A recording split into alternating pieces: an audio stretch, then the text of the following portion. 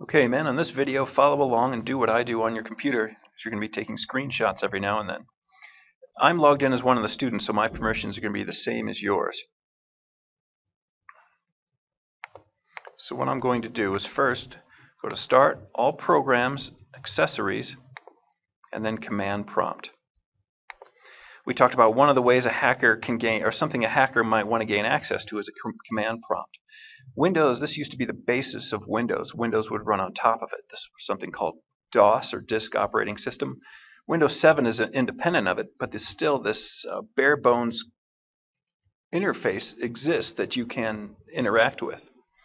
And once you're at this screen, you have to type in everything by hand. So say I wanted to go from at showing the H drive, which is probably Teresa, to the hard drive, which is the C drive, I would have to type in C colon to change drives. If I wanted to see what was in there, I would type in dir for directory. And if there's too many things, type in dir slash w. And what that does is put it into columns. If I wanted to change into, let's say, this videos directory or folder, I would type cd for change directory, videos, dir.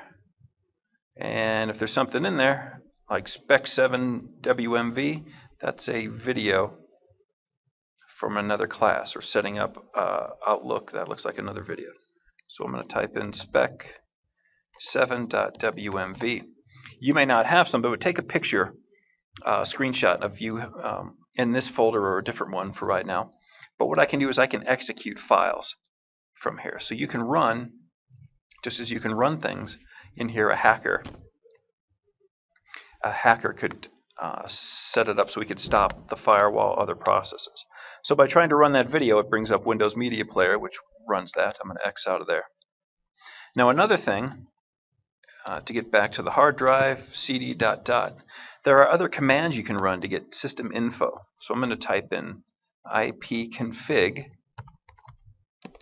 ipconfig, which is the IP or Internet Protocol configuration, and hit enter.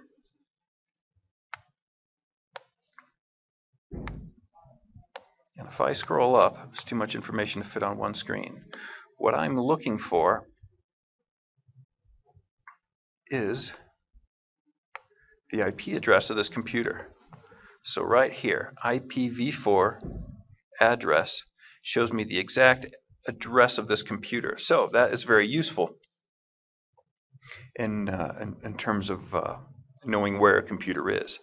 Also, there's other more uh, sophisticated information that uh, a hacker might be able to find. So take a screenshot of this and email that to me, or you can type in if you need more information, config space and then a slash all. And it lists probably way more information than you can ever need, but